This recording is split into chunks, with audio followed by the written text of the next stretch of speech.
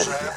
praktycznie jesteśmy już sektorem niezauważalnym, Póki się nic nie dzieje. dopóki się nic złego nie dzieje. Ale jeżeli zaczęły być kłopoty po naszej stronie, albo byśmy nie nadążyli, to wtedy będzie duży problem. Rozumiem, że te wyzwania wiążą się właśnie z tym nadążaniem. Mamy na to pieniądze, są innowacje? Problem innowacji, jak widać, jak się rozwija sektor energetyki, porównamy to, co było 100 lat temu, a dzisiaj, to możemy sobie powiedzieć, że to jest najbardziej innowacyjny sektor.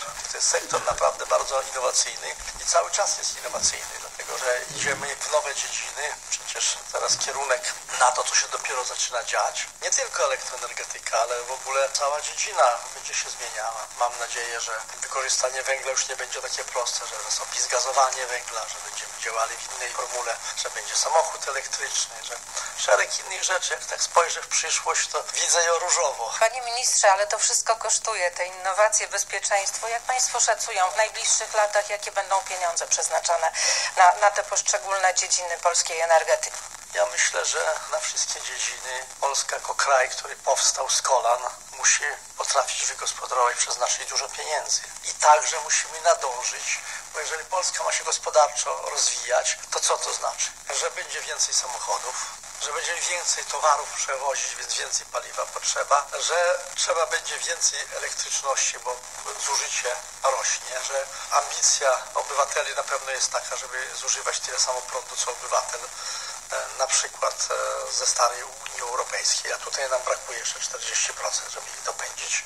Ale jak mówimy o konkretnej kwocie, to ile by Pan wskazał? Tutaj kwoty są trudne do, do oszacowania. Wiemy, że 1,5 do 2% rocznie będzie wzrastało zużycie prądu. Musimy patrzeć i planować dłużej niestety niż kadencyjnie. I z tego tytułu to są zadania dosyć trudne, bo jeżeli dzisiaj mówimy, że rozpoczynamy budowę elektrowni, rozpoczęła się już właściwie przetarg rozstrzygnięty budowa elektrowni Ostrołęka. Są różne na ten temat dyskusje, dlaczego węglowa, dlaczego taka i tak dalej. To ma być ostatnia węglowa w Polsce, prawda? No to jest e, ciekawa rzecz, dlaczego komisja się zgodziła. No dlaczego się komisja zgodziła? Przecież czy nam potrzebna, kiedy my importujemy węgiel?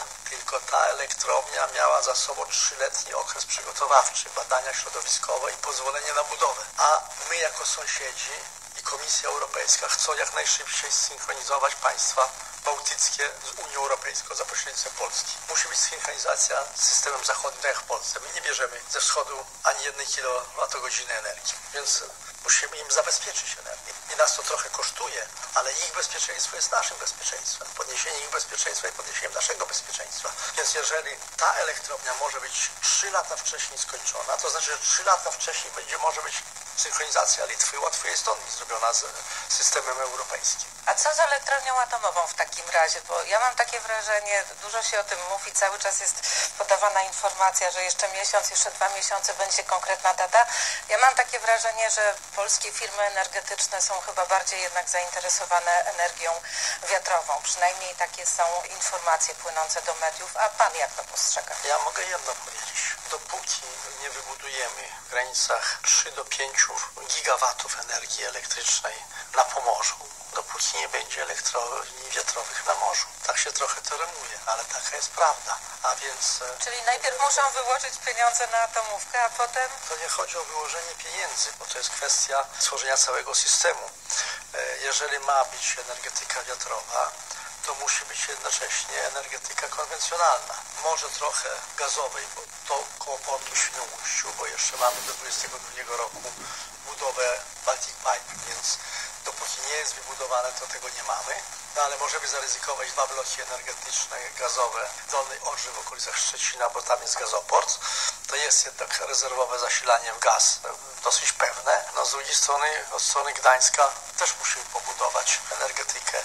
No i tutaj pasuje elektrownia jądrowa i my nie dostosujemy się do norm unijnych w zakresie wielkości emisji, jeśli nie będzie źródeł bezemisyjnych. Tego nam energetyka odnawialna nie zapewnia, bo raz chodzi odnawialna, nie ma wiatru, chodzi konwencjonalna. I trzeba, żebyśmy wszyscy wiedzieli, że my energetykę odnawialną robimy ze względów zdrowotnych. Chcemy pójść cywilizacyjny krok do przodu, żeby zdrowie ratować. Tak jak musimy zrobić samochody elektryczne, bo z punktu widzenia zagrożeń zdrowia spaliny samochodowe są gorsze, bo w węglu to są gorsze pyły węglowe, które są już wyeliminowane w elektrowniach. E, Jeszcze z kominów prywatnych idą, a emisje